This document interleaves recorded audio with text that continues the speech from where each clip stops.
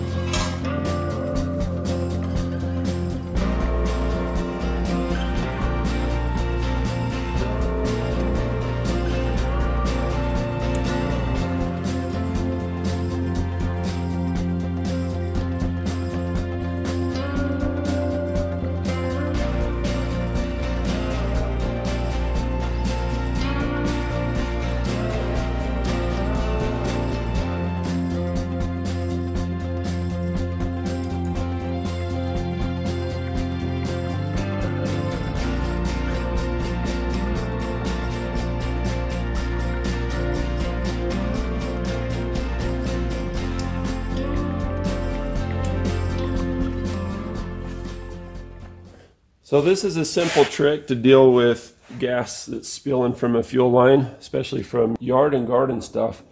Uh, the snow blower, see how the gas is dripping? You stick in a Phillips screwdriver And uh, because of the slope of the point of the Phillips, it doesn't tear up the inside of the hose.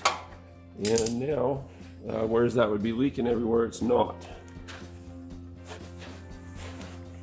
So we got everything disconnected.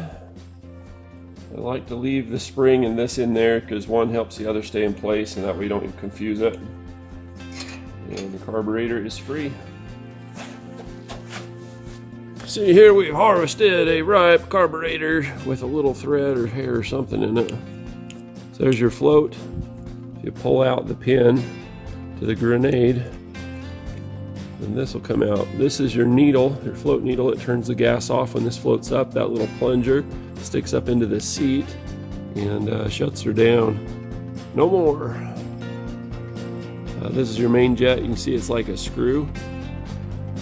You can see that looks like a screw. You can put a screwdriver in there, take that out, soak it in cleaner, and make your snowblower go again. Um, you don't have to pull all of this off. You can just pull the bolt out of the bottom of the bowl after turning the gas off, like uh, to this position here. Turn the gas off, take the bowl off, um, get this screwdriver screw out, and uh, you can take that out, clean it, put it back in in the spring. If it doesn't start, it should after you do that. Let's see.